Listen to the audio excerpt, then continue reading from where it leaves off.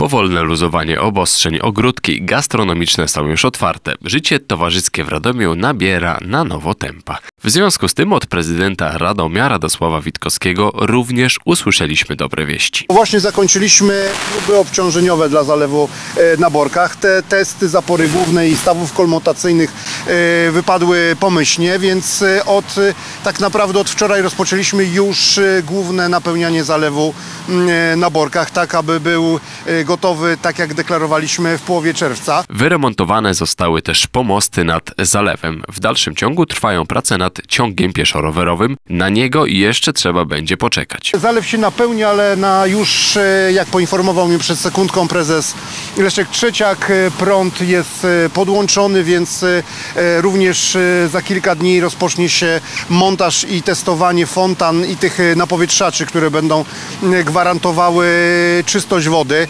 E, Proszę Państwa, ja e, nie pamiętam takiej jakości wody w zalewu na Borkach. Podczas konferencji prasowej prezydent Radomia jednoznacznie podkreślił, że testy nad zalewem wypadły korzystnie i możliwe, że w czwartym tygodniu czerwca wszyscy będziemy mogli skorzystać z uroków zbiornika na Borkach. kończymy, że tak powiem, realizację za chwilę tego zbiornika.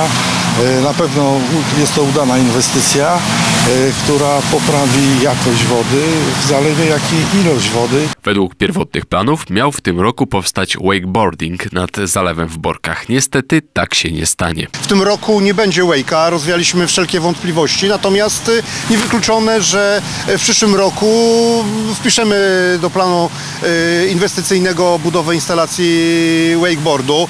Tak jak powiedział pan prezes, dokumentacja jest gotowa, ale na to będą potrzebne pieniądze i tu w zależności od, od wariantu, jaki chcielibyśmy mieć, y, to jest y, kwota między 2 a 4 miliony złotych. Cała modernizacja zbiornika na Borkach kosztowała około 6 milionów złotych, w tym 2 miliony ze środków unijnych.